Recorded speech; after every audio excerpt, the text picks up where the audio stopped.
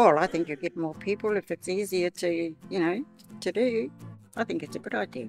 Yeah, I think it's absolutely great that there's a self test option now because it means that I'm in full control of the whole process.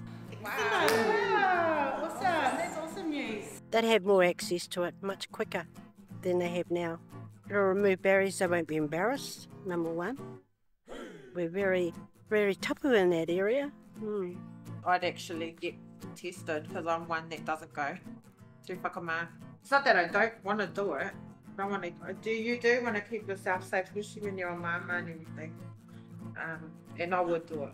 I think it will probably help a lot of people who are quite anxious, like I am. I'd feel a lot more comfortable doing it myself than having somebody else do it for me. Safe. Wait, what? Really? I'm there. Self sovereignty. Excellent. Whatever makes it easier for our wahine to get in there and get checked. No, that sounds awesome. Yeah, great option. Well, for a wahine mau, they won't be as whakamā to go in to get it done. About flipping time.